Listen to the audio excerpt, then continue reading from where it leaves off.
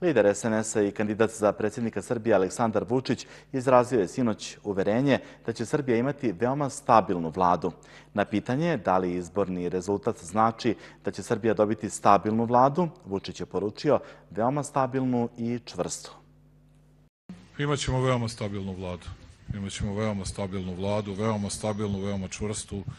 Ja se i dalje nadam da mi možemo i do 126 samostalno, ali Evo da ostanemo da sačekamo još pola sata, sat, pa ćemo to moći da znamo sasvim. Tako da nemamo nikakvih problema. Mi sa Savezom Vojvođanskih Mađara imamo najbliže moguće odnose, tako da svakako imamo apsolutnu većinu.